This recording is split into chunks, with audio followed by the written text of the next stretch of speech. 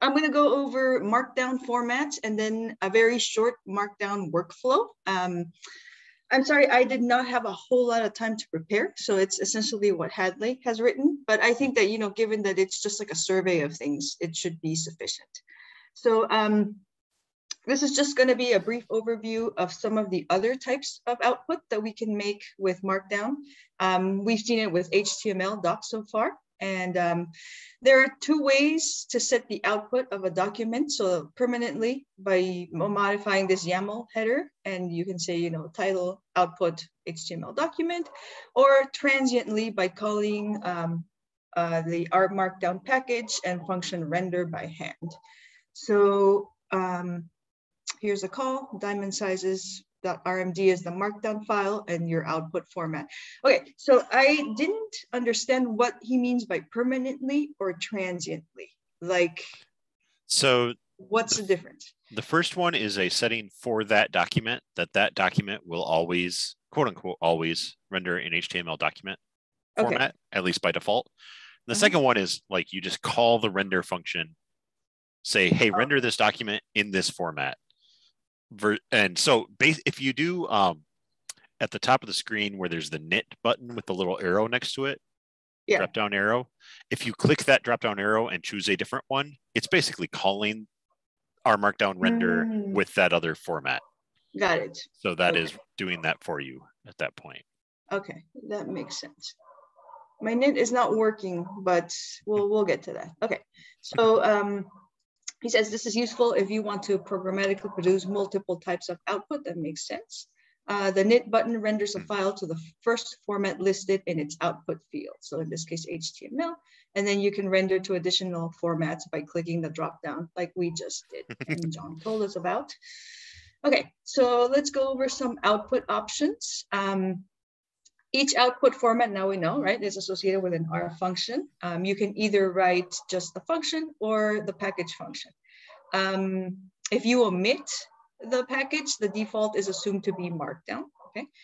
Um, it's important to know the name of the function that makes the output because that's where you can get help. Uh, for example, if you want to figure out what parameters you can set for HTML document, then you do your question mark, you know, package function. Um, to override the default parameter values, uh, you need to use an expanded output field. Like for example, if you wanted to render this HTML with additional attributes, then you would use output HTML and then these two um, expanded outputs. So I'm not entirely sure what each, each of these does. I think these are features, right? Yeah, so okay. this view that you have in RStudio is effectively those settings that it turns on a ah, table of contents yeah, yeah. and it makes a floating table of contents. So Oh nice. Okay. So let's just So that would be yeah. It's not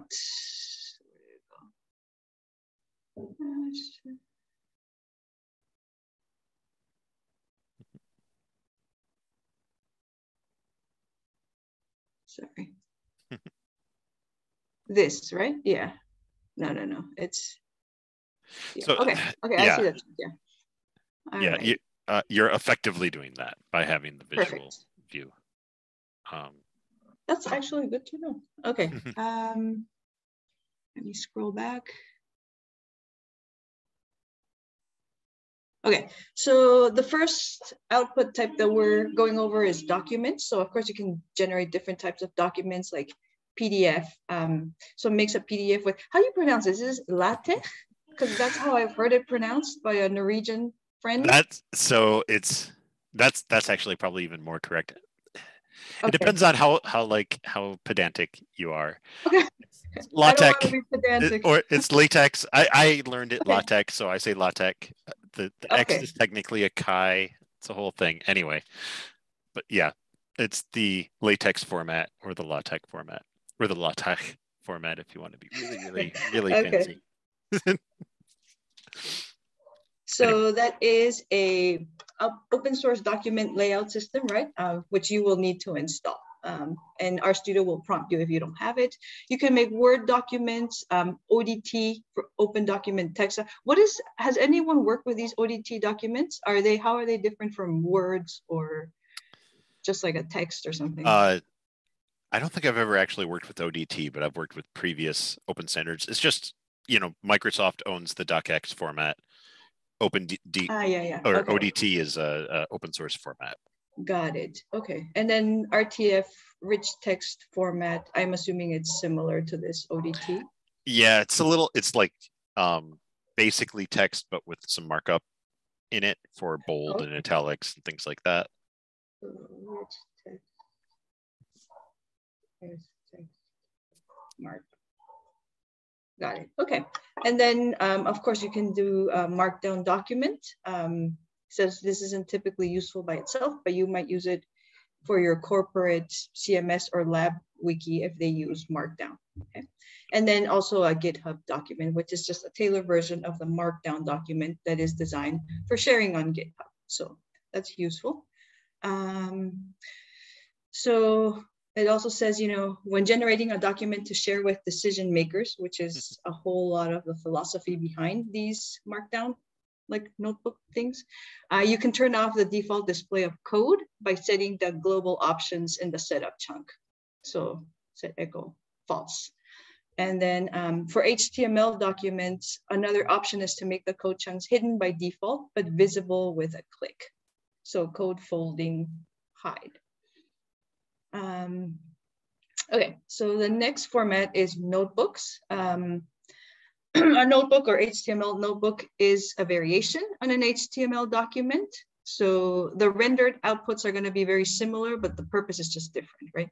So an HTML document is focused on communicating with decision makers, sort of like presentation or, you know, simplified, where no one wants to see the code. And a notebook is focused on collaborating with other data scientists. So both will contain the fully rendered output, but the notebook also contains the full source code. Um, that means that you can use the .nb.html generated by the notebook in two ways. So you can view it in a web browser and you can see the rendered output. Um, but unlike an HTML document, this rendering always includes an embedded copy of the source code that generated it, okay?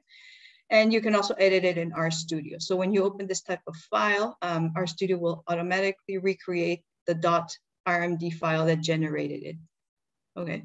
In the future, you will also be able to include supporting files like CSV data files, which will be automatically extracted when needed. Okay, that's interesting. So if you have supporting files, it gets sort of merged into this I don't I, HTML? I haven't I don't work with notebooks. Um, yeah. and I do I find it interesting, you know, anytime he has in the future in this book, you know, the book came out uh several years ago now. I don't know. I don't know where they went with that. I'm going to talk a little bit at the end that RStudio pretty much just came out with a new format that is like mm-hmm. an upgrade to R Markdown. I would eh, it's oh, okay. it's fine like keep learning R Markdown. People are going to still be using R Markdown but I, will talk a tiny bit about the tiny bit that I know about the new format when we get okay, there.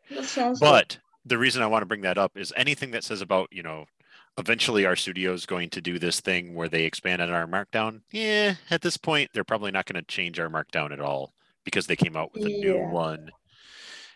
The, the the quick intro is that they made like R Markdown, but it doesn't require R. It's a um, fancy markdown format, but you could use it with Python and you can use it with SQL and you can do all these different things.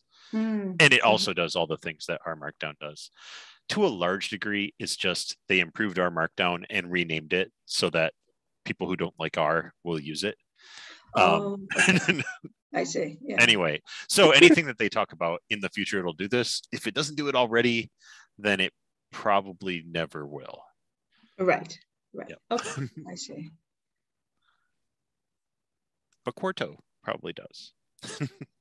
okay.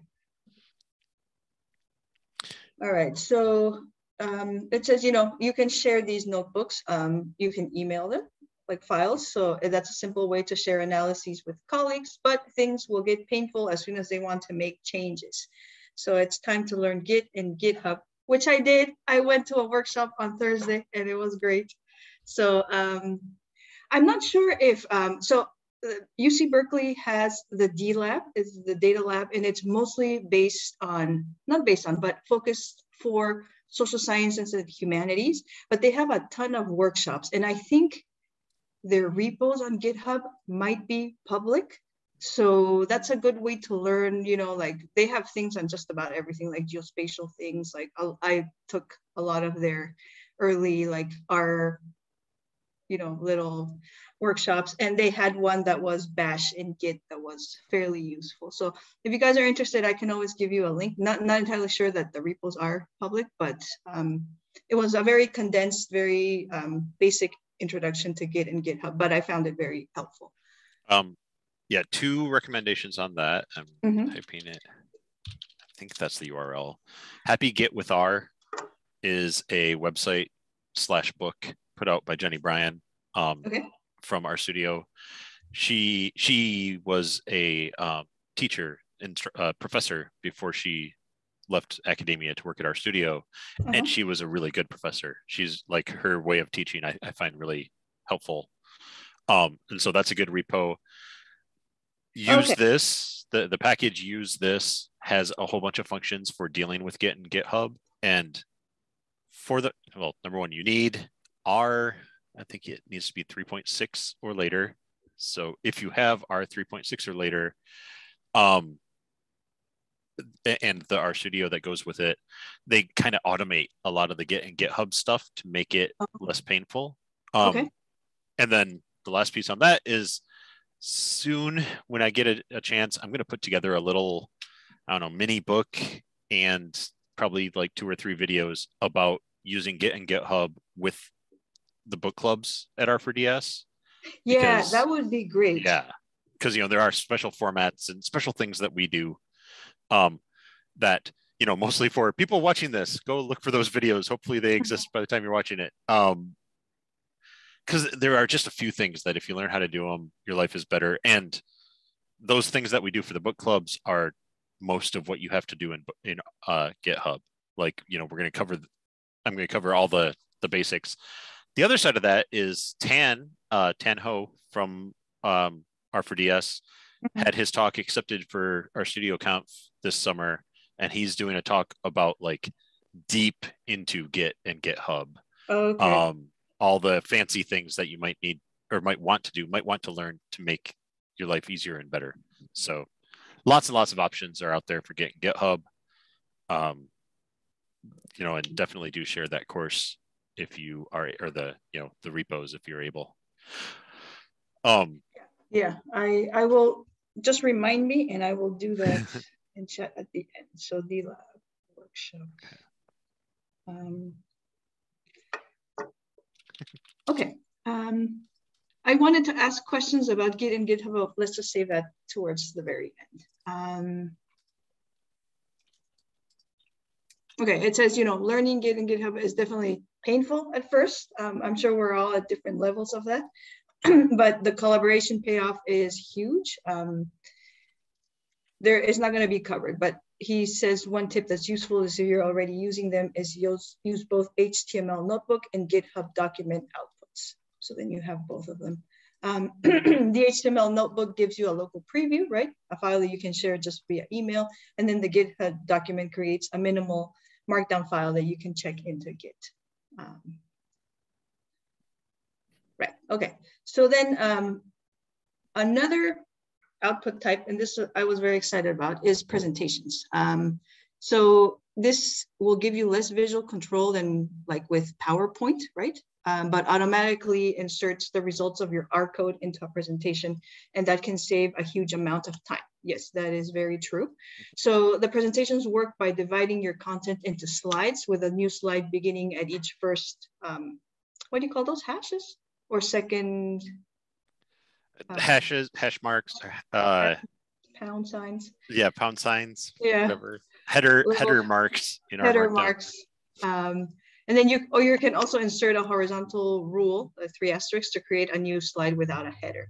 Um, so it comes with three presentation formats that are built in. So ioslides presentation, that's the HTML. Slidy presentation is HTML presentation. I don't know what this W3C Slidy is, but it's the it's uh, World Wide Web Consortium is W3C. Oh, okay. Uh, yeah. Slidy is like, I guess, a standard uh, HTML presentation format. Okay. Um, I, Oh. I can't remember where they go in this because again, this is oldish. Like those, all these still exist. hmm Um, and Reveal.js is something that people like a lot, but I think it's number two in the. Um, no, okay, this book predates. There's a package, xaringan, spelled like that. That is the modern R Markdown slideshow package. Um, all of these also work, but xaringan, like it has a function that you can just call the function in your RStudio and it'll constantly render your slides as you're working on them and like show Oh, you what they're going to look like.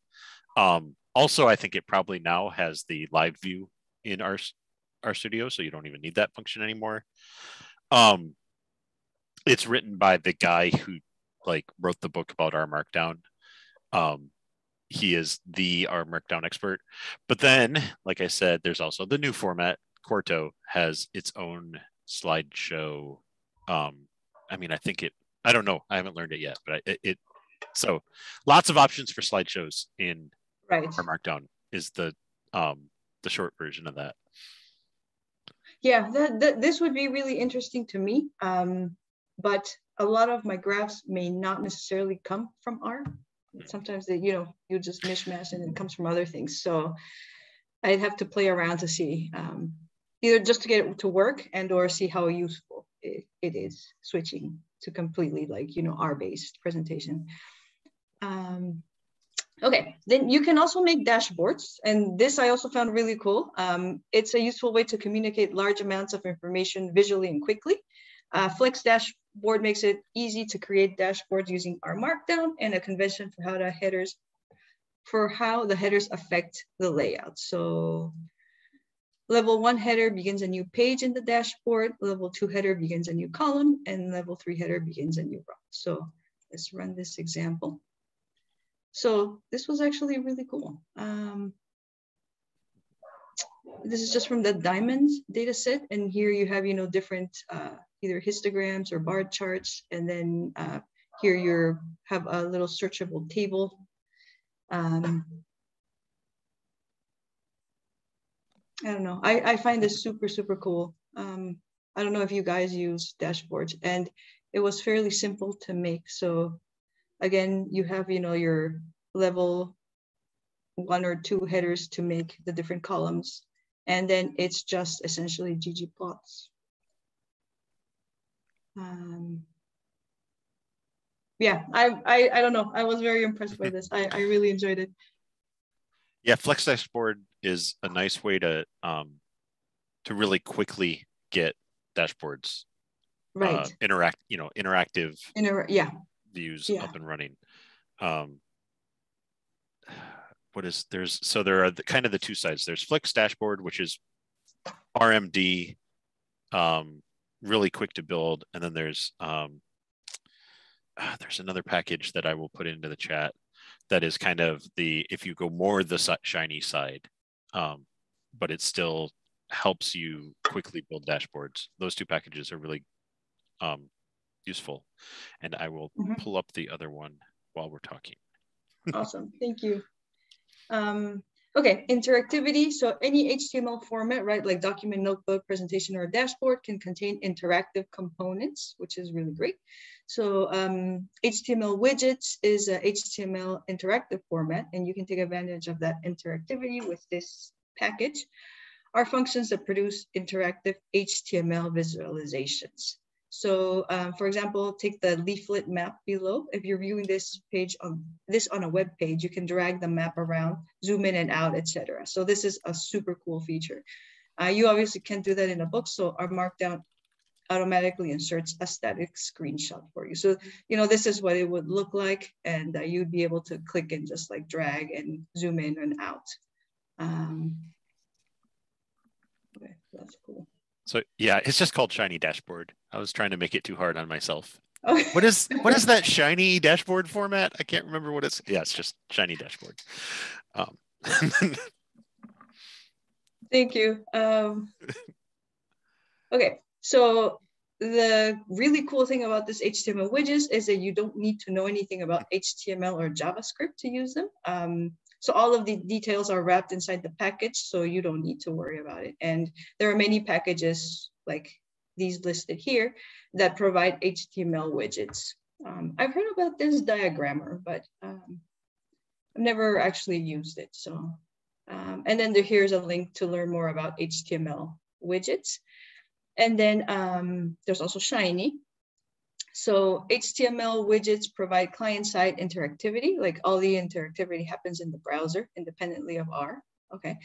On one hand, that's great because you can distribute the HTML file without any connection to R. However, fundamentally limits what you can do to things that have been implemented in HTML and JavaScript. So an alternative approach is to use Shiny, which is a package that allows you to create interactivity using R code, but not JavaScript. So I wish Lucy were here because then she could, you know, um, talk to us a little bit about what she knows. Um, so to call Shiny code from R Markdown, you just add runtime Shiny to the header. And then you can use the input functions to add interactive components to the document. Um, so library Shiny, text input, uh, name what is your name, and then let me just run this. So, oh, I see. Yeah. Oh, okay. It's it's going to be a little weird in because you aren't working in one that yeah. has shiny turned on.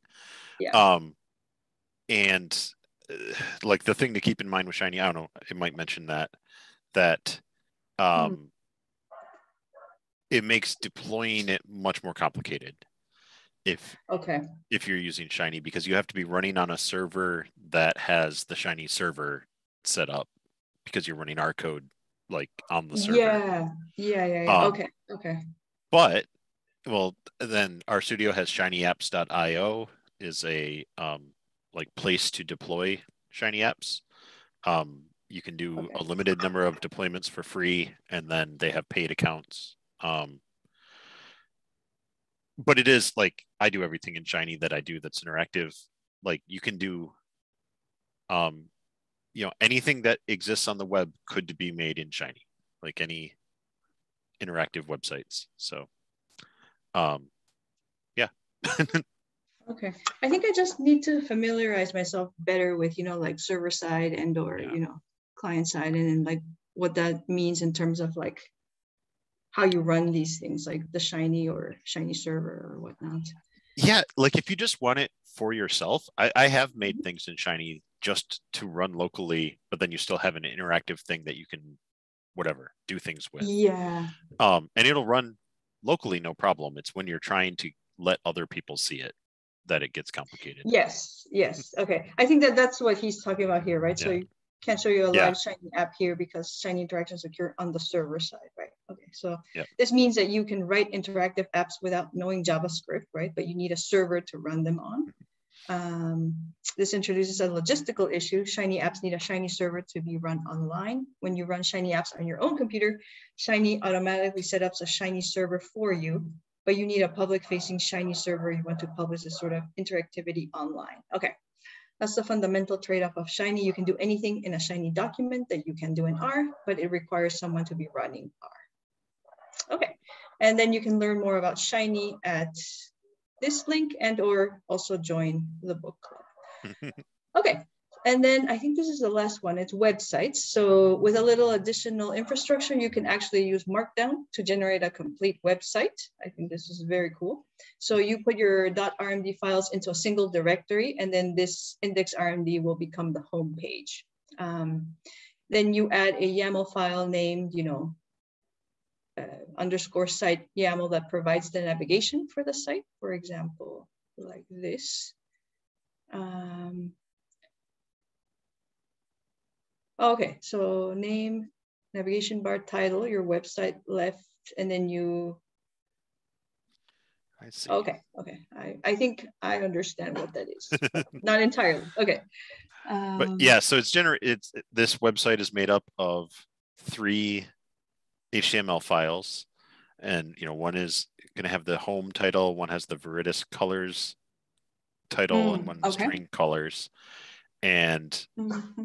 Um, it looks like it's going to be on some nav bar. So you'll be at my website and it'll show those three things on the nav bar. And Okay. it figures that out from this YAML that you put onto the site. I see. Okay. Thank you. Thank you for explaining that. Um, okay, and then you would execute, you know, package R Markdown function render site to build the site. A directory file is ready to deploy as a standalone static website, right? Or if you use an RStudio project for your website directory. um, Studio will add a build tab to the IDE that you can use to build and preview your site. So meaning here on in RStudio? Uh, it would be, well, yeah, it would be, yes, it would be over in the build. And then also if it's set up this way, the little, the blue button in the R markdown section, um, the Blue blue circle thingy over to the, almost all the way to the right of the, art to the left, right, that. okay. that- if it is if you have a website set up then our RStudio says oh this is a website um, do you want to publish this and it'll walk you through how to publish it to um, uh, not shiny apps in that case but whatever to RStudio's publishing platforms um, Yeah, 'Cause that's how they uh, make- our pubs.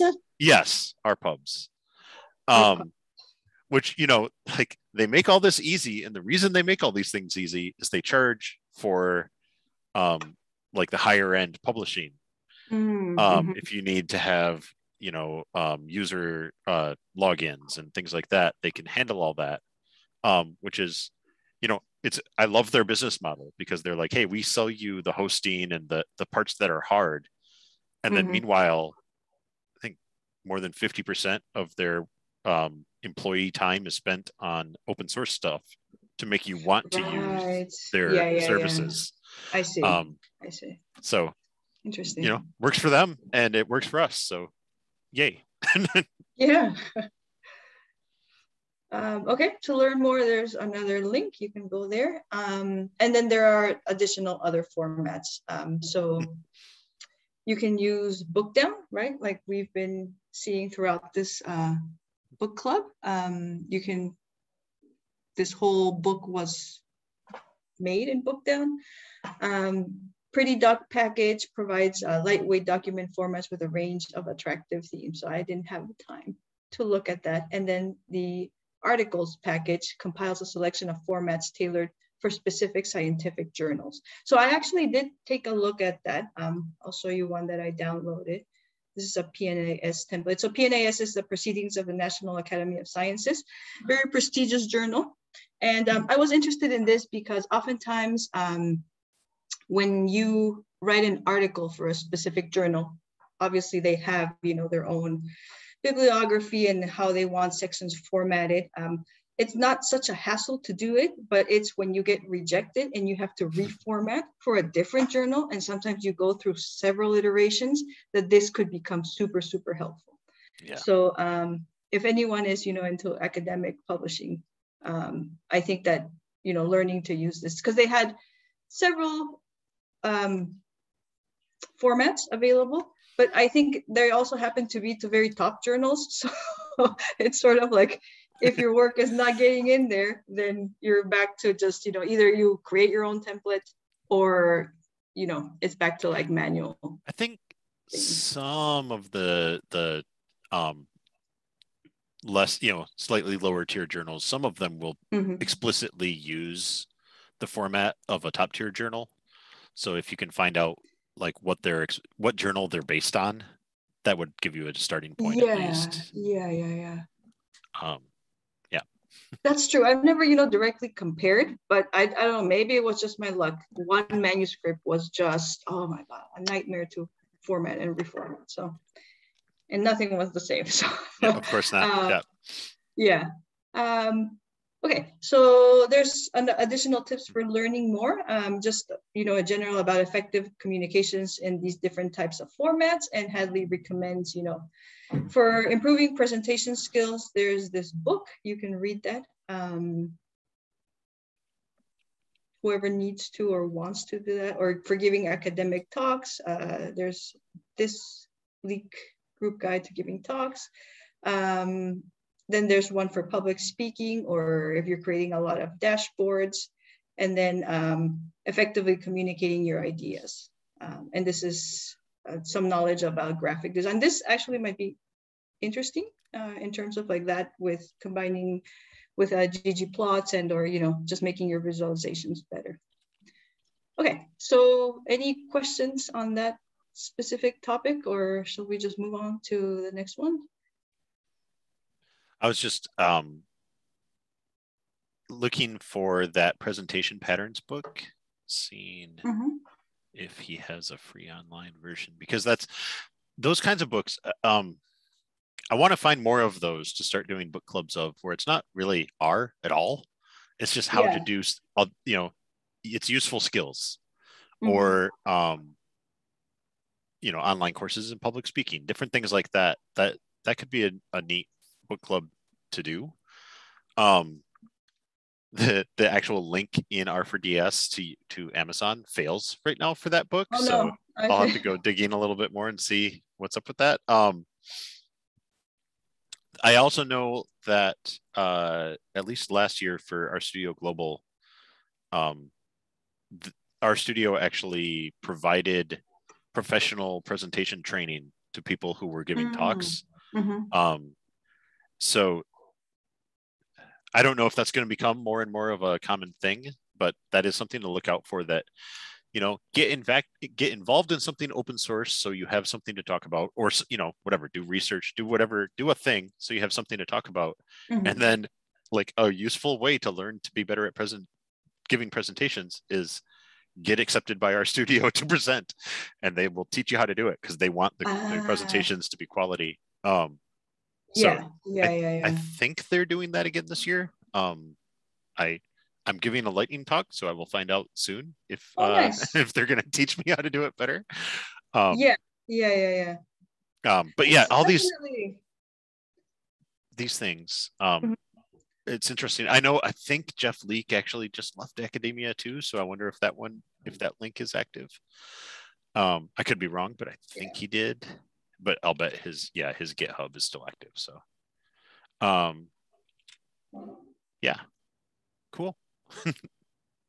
Sounds yeah. I I was just wondering, you know, like um how or what people might be giving presentations for. So like in academia, it's very common, like, and it's right. mostly PowerPoint presentations. So you present either like uh, lab meetings or, you know, like the group meeting, the floor meeting, et cetera, et cetera. Um, and so you know there's definitely a, a, skill to learn but that's also very much tailored to like i'm in you know biological sciences and so there's a way to present for those sorts of things and then you know everyone sort of follows the same format to some extent there is no not a lot of deviation from there like are typical...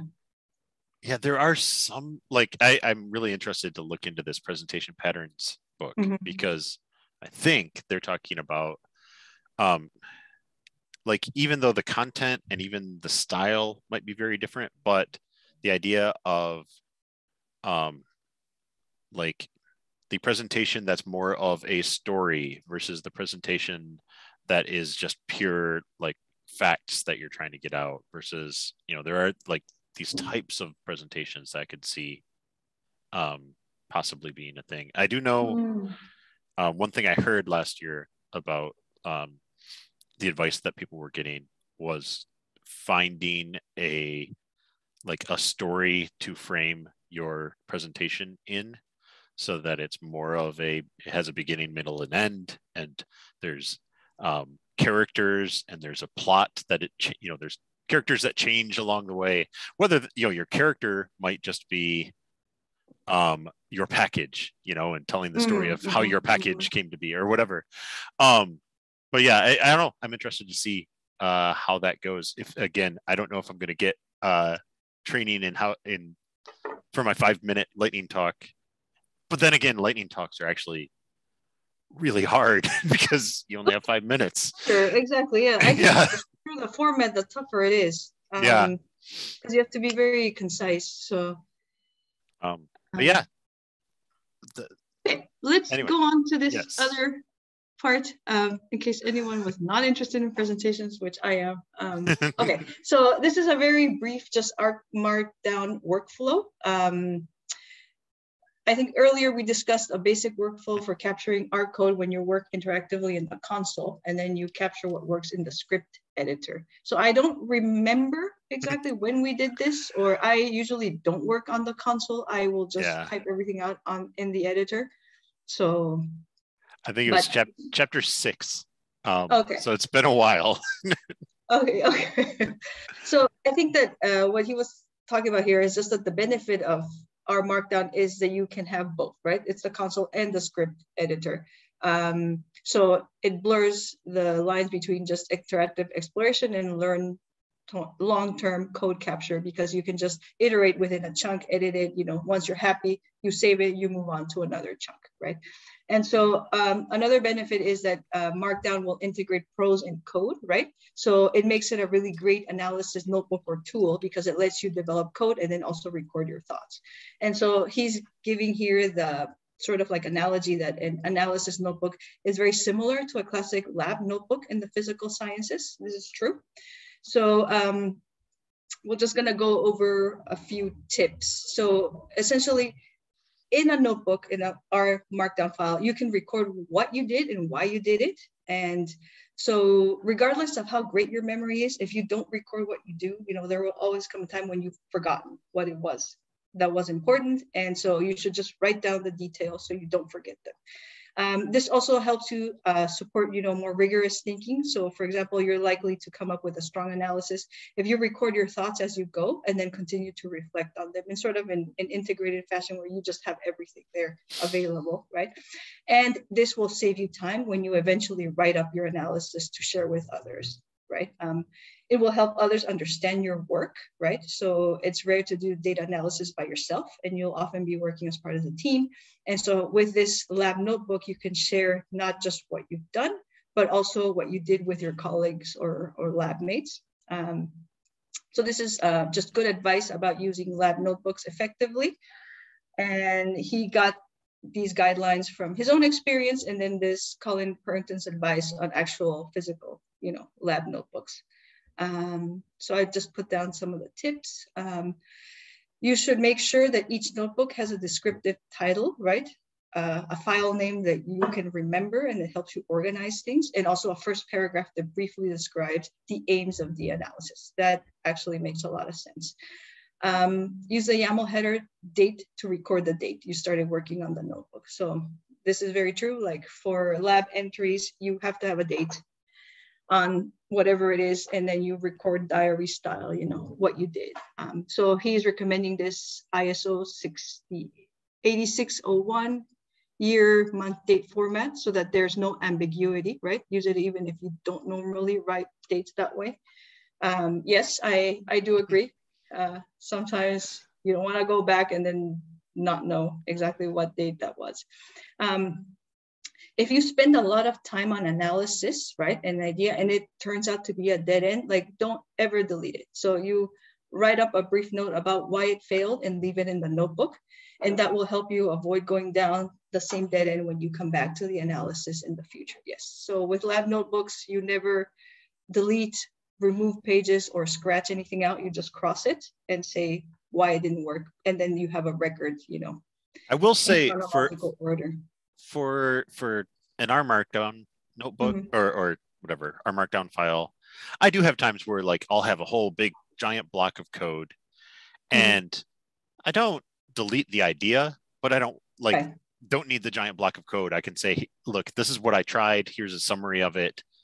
Mm-hmm. Don't go down that road because it didn't work because of X Y Z.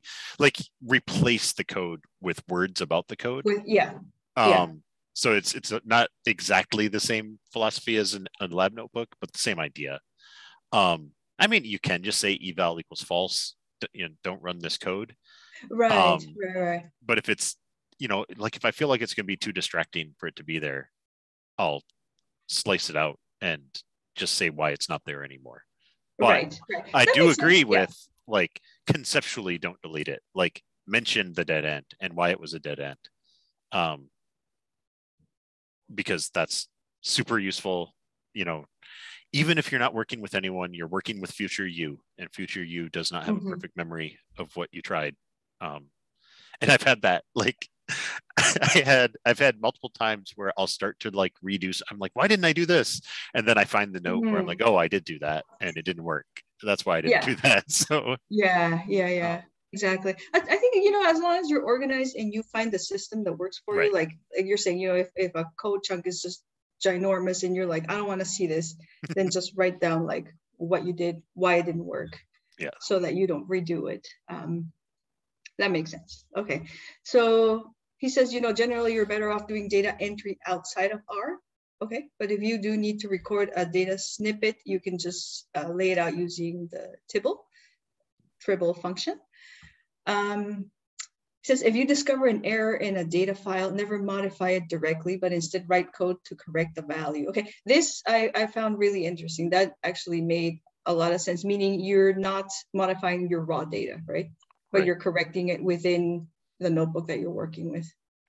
Okay. Depending on the um, like where you are in a an organization or whatever, that can mm-hmm. also be hey, tell someone um, mm. if the data is being generated wrong, like it's mm. being saved wrong from by some system or something, mm-hmm. try to get it fixed at the source, but don't fix it just in your copy. You know, because then it's not actually fixed, and the next time you that, pull yeah. that data down, yeah, it's yeah, to be broken. Yeah. Um. Yeah. Yeah. I see. I see. That that makes sense. Okay. Um, he says, you know, before you finish for the day, make sure you can knit the notebook, which I cannot. I don't know why my knitting is not working, but um, it says if you're using caching, then make sure to clear the caches and that will let you fix any problems while the code is still fresh in your mind. Yes, this is true. Um, so I, I do agree with that, except usually the last thing I do in the day mm-hmm. is um, put like stop and a message of what I was thinking on or thinking about or working on right oh. then, so that if I try to knit it the next day, I explicitly get an error message saying, "No, I'm not done with this. Um, oh, okay. This is what yeah. I was thinking." So I, I actually like purposefully make it break at the end of the day, so I don't lose track of what if I'm not done. Mm-hmm. You know, mm-hmm. if I'm in the middle of something. I just note what I was working on and what I was thinking. Like sometimes that's the error, you know, quote unquote error message will be like a paragraph and a half or something. I just stream of consciousness or whatever, you know, write down this is what I'm working on, this is what I'm thinking about, this is what I know I have to fix, things like that. Yeah, yeah. Th- um, that's actually a, a good tip.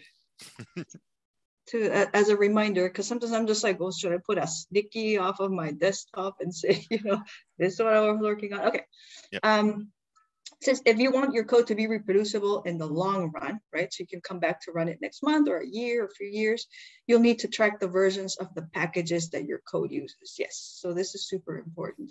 So a rigorous approach is to use Packrat, um, which stores packages in your project directory or this checkpoint, which I think I will look into, which will reinstall packages available on a specific date. So I think that this is super cool. Um, I've had a project where I had to go and look for an archive version of a package and then install all of the dependencies by hand. That was a nightmare. So um, in, in that case, I had to do it because, you know, it was a package that I wanted to use. Uh, it wasn't something that I had used years ago that I had not saved, but I can see how this could become um, very helpful so that you're not wasting time reinstalling like either old packages or different versions of packages. Um, so I, I put a note in the in the chat. There's a newer package, pak P A K, that is kind of the replacement of Packrat. Um, okay.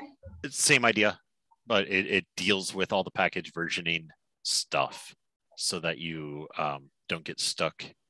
Like, because I have definitely had that where oh something changes right. in one package and it's you know okay yeah it's better now but my code expects the old version and so yes um yeah dealing with that is definitely a thing um and then there's also the package slash like system targets which um i haven't used and apparently i should everyone loves targets Um, okay. It is a is, way. Is that of, the same as Packrat or pak?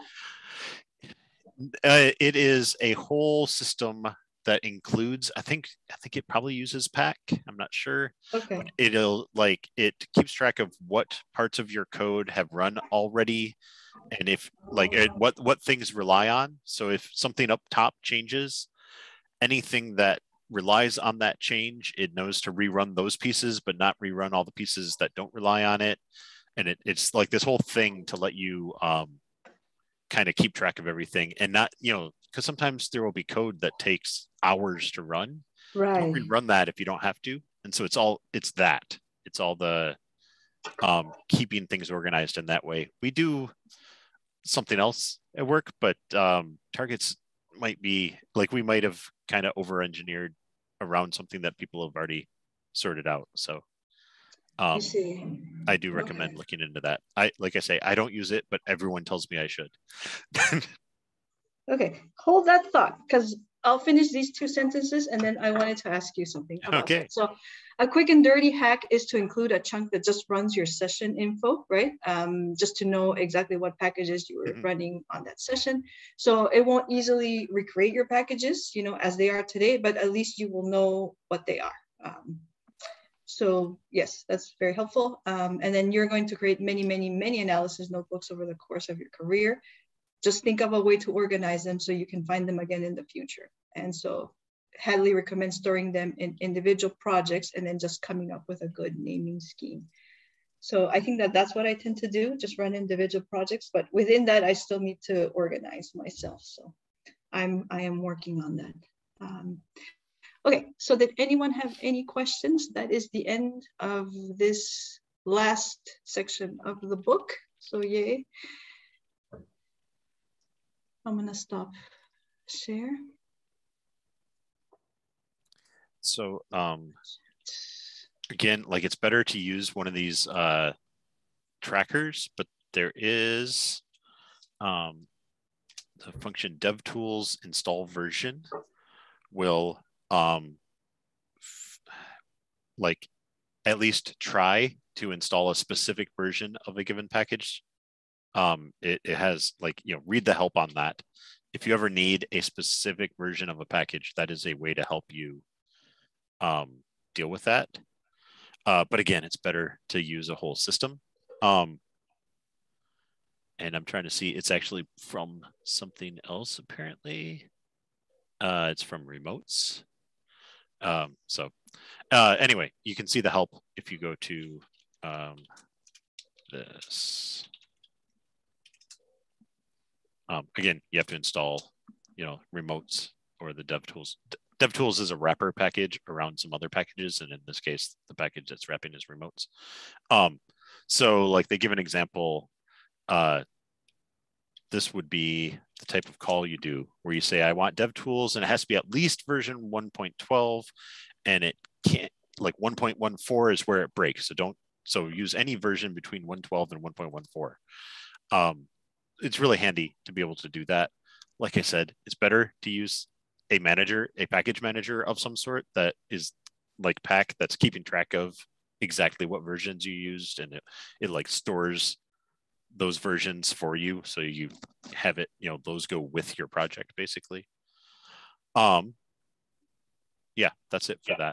that okay um federica what is package snap that that's another package for dealing with um, packages uh, versions. So oh, okay. I had a yeah I had an issue because um, I have an old version of RStudio and mm-hmm. uh, I have updated all the packages, included some packages that I I shouldn't have uh, to be updated uh, because of my version of RStudio.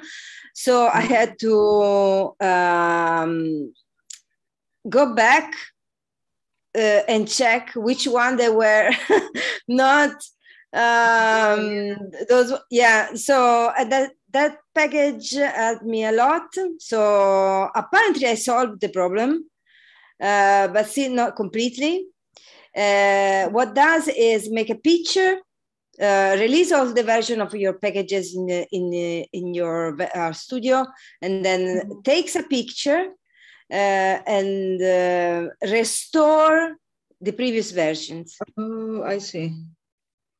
Yeah, you can look at the documentation. There's an example on the internet that you can uh, just follow through the steps and it works.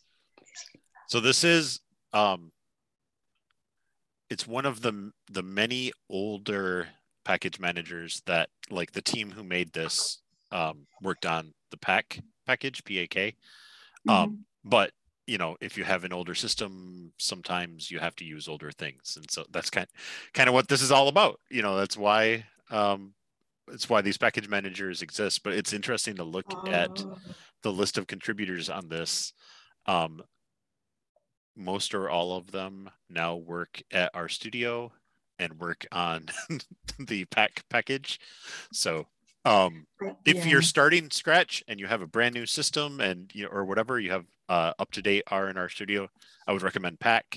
But there are lots of situations where you, for one reason or another, that won't work. Um, right. I didn't. I didn't found this uh, because I haven't read this book, uh, in particular this chapter.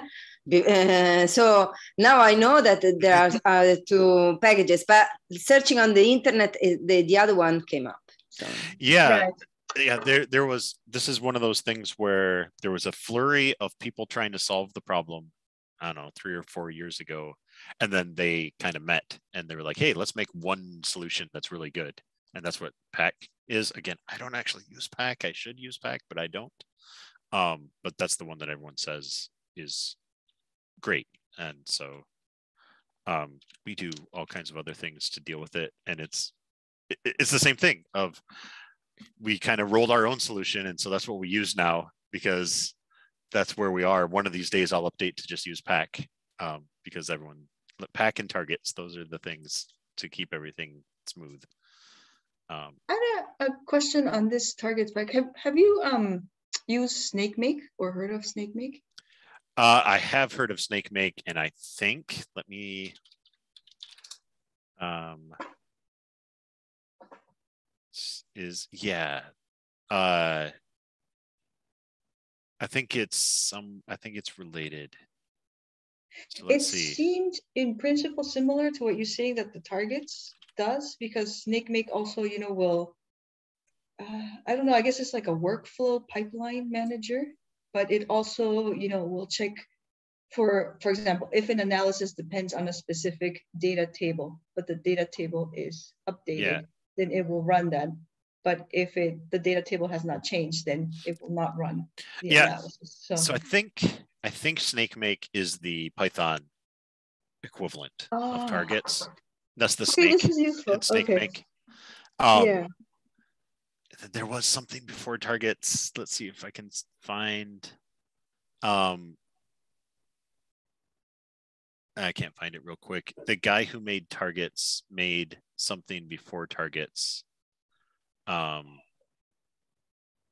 I'm seeing if I can find that real quick. So you might hear about Drake. There it is. Drake. Um, Drake is I don't remember what the D is, like data R make something like that. Oh, okay. So Drake was his package before targets that was more equivalent to Snakemake and then he kind of rewrote it all, made it easier to work with, and that's targets. Okay. Um, and yeah, like I said, targets is the one that of all the packages that I'm like, yeah, I should really learn that. It is number one, I think. Of yeah, I should really learn targets. Everyone loves targets. Um, okay so if you're just kind of just getting started in using um, R markdown workflows or mm-hmm. otherwise like our um, data pipelines and things start with targets like that's what everyone eventually recommends that everyone eventually move to so i see uh, yeah maybe i, I will look into that that um they have a nice uh, package down website oh that was another one that wasn't in this list because it's newer Ooh. than the book there's a package called Package Down. Um, I think it's that, which if you work on open source packages, it's a package to build documentation, like an online documentation website for your package. Um, in the same way that Bookdown is made for books, package down is made for package documentation. And it makes a nice, like if, if you load that page, uh, the, the targets page, that format mm-hmm. is the package down format. And you'll see that like there's, um, was it tidy models? Oops. Not tidymodels.org, but if I go to a specific, um, I'm trying to, to load up an, another example because you'll see um, all these all these packages have these websites that look really similar. And it's because yeah okay. So it's not yeah. it's a different format but if we look at this notice that there's like get started reference articles change log um, and i think targets had either the same uh, functions overview. Eh, it's not exactly the same but it's the same idea like the same general format of the website Anyway, okay. um, so that is a, another R Markdown format that has become popular. Uh, is the package down format. Package down. So, yeah. um, did you put the? I did link. This, sorry. Let's make sure that I have it right. And of course, you can go to the package down package down site, which is okay. that. so that's a site about package down generated using package down. Um, nice. Okay, and let anyway. me just put in the link to the DLab. So the DLab uh, oh, at Berkeley great. is probably the main repo. Hopefully you guys can access it. I'm not entirely sure. I I can. So perfect. Awesome. So Bash and Git workshop. Great.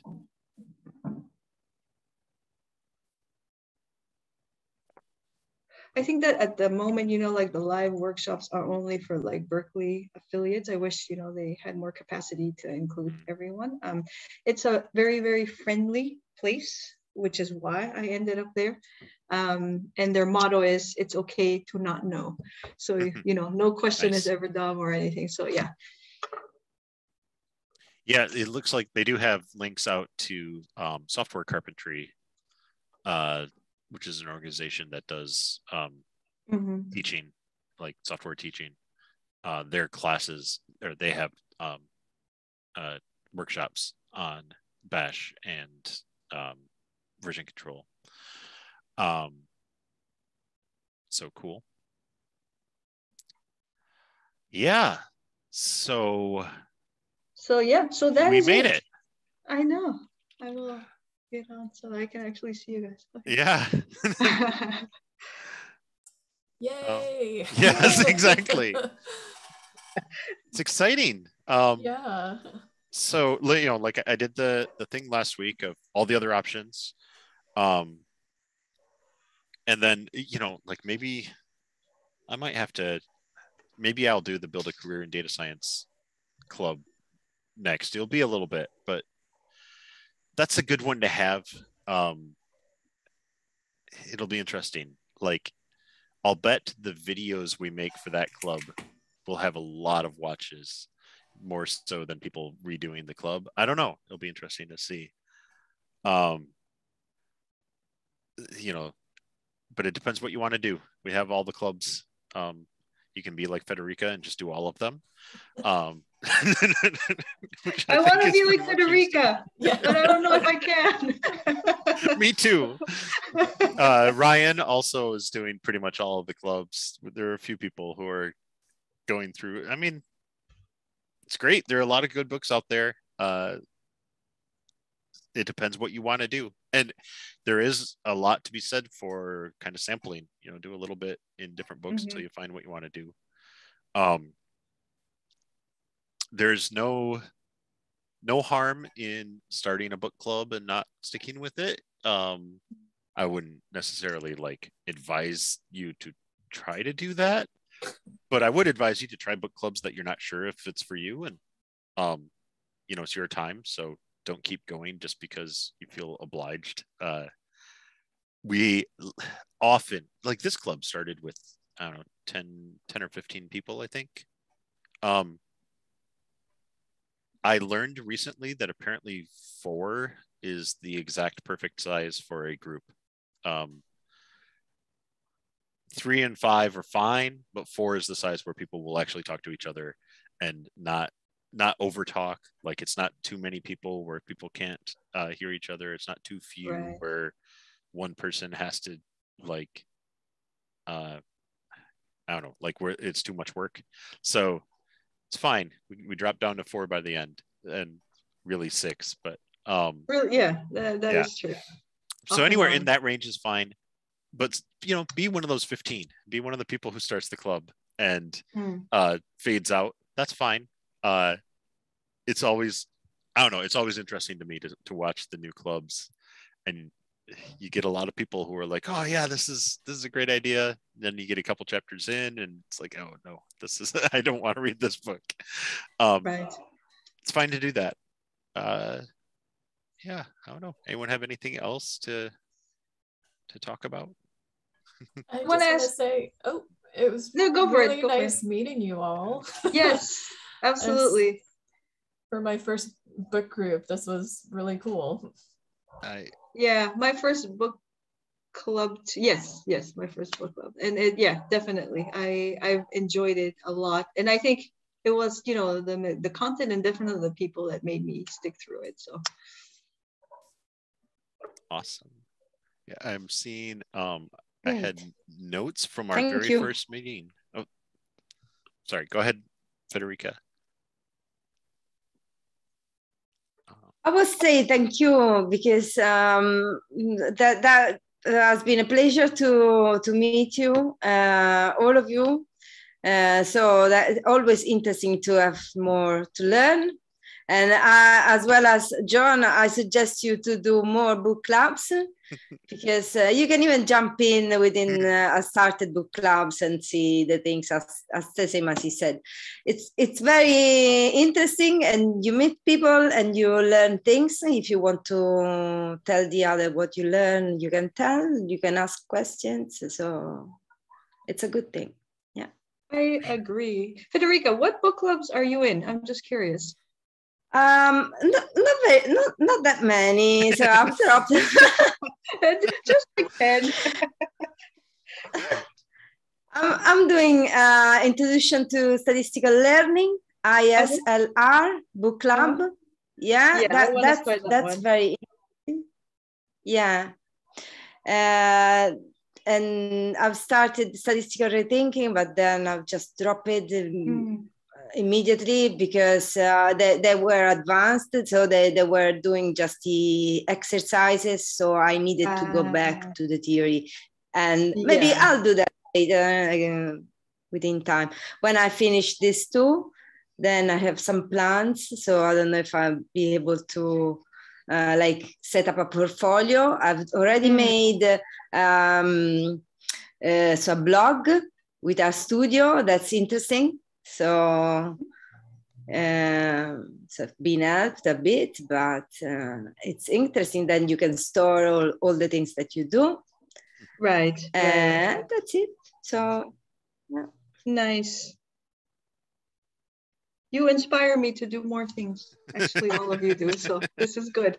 well, then you've you've done a club. So the other thing you can do now is, um, if there's a book you want to read, volunteer to facilitate and then the club will, will exist. Um, that, yeah, that is you know. true. I think maybe once I go through ISLR, and I think I may redo this R4DS. Like, yeah, I have to be honest. And I, I, I suggest you. So, yeah. I suggest yeah. you to do tidy models as well and ggplot2 yeah. and mastering shiny and so whatever is but uh, you know uh, i think tidy models is very good yeah. Uh, if you are already at knowledge of all the other possible uh, models to use with uh, uh, in machine learning because ISLR yeah. is more machine learning than simple statistical tests so right. it's advanced yeah i okay. think yeah I, I do think I go back and forth in this, but I think I recommend ISLR first as a way to learn all the different types of modeling. And then tidy mm-hmm. modeling with R is more about like it assumes you know how to model and it's showing you like how to code it in a nice clean setup. Um, mm-hmm. pro- they do overlap. Like I want to take them just in a loop, you know, read T- tidy modeling and then read ISLR and then reread tidy modeling and then probably reread ISLR and implement it more in tidy models. Like they, they definitely kind of go back and forth. Um, unfortunately, like I said, I, I kind of want to do like a baby version. Like ISLR is already the toned down um, ESL. Uh, uh, I can't remember explanatory statistical. No, something statistical learning. I can't remember what ES E stands for. The same authors, or two of two or three of the authors of ISLR, wrote a more advanced book, and then ISLR is that book without all the like how to build your own prediction engines and I think there needs to be one that's even lower that is just kind of here are the model types so that you know what they are, but we're not going to go through the math of how they work and we're not even probably going to code them. We're just going to talk about what they are and then take tidy modeling because what happens is ISLR teaches you how to code them and then tidy modeling says, well, yeah, but do it this way. It's easier.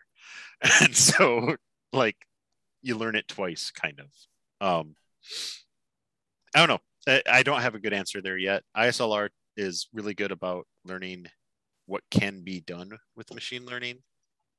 Um, and then tidy modeling is how to do it. I think that's the way to look at it. And so I would say when you're reading ISLR, I don't think it's important to really, really dive into the code in ISLR because then when you read tidy modeling with R, you're going to re-implement the same things in a different way anyway. So worry about the code when you do tidy modeling. Worry about the concepts when you're doing ISLR. I think. I don't know. Whatever. Read all the books. I, I want to do tidy text. Um, what is that? Uh, text mining with R.